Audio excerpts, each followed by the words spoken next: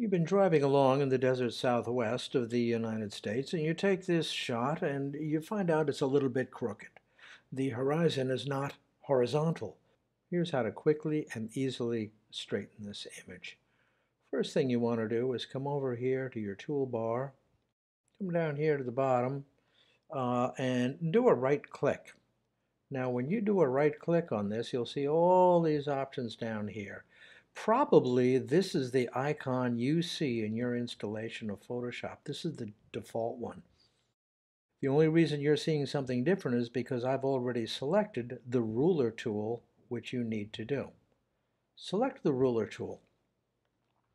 Now come back to your image. Find a line in your image that you figure should be horizontal. And I'm going to take this line right here as horizontal. So I'm going to click and drag and keep it right on that line as best I can. And then simply come up here straighten layer. And it is now straight according to that line you you dragged across there. Now the next thing you're going to need to do is crop the image because you have these empty pixels up here because of the rotation. Uh, keyboard shortcut C will get you your cropper. Now come up here in the top and do all your uh, cropping that you need to do to get rid of those empty pixels, the nothing pixels there. There's on the top. Here's on the right. You're going to lose a little bit. You can't help it.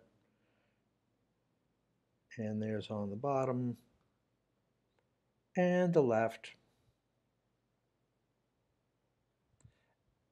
When you're done, just come in here and do a double click.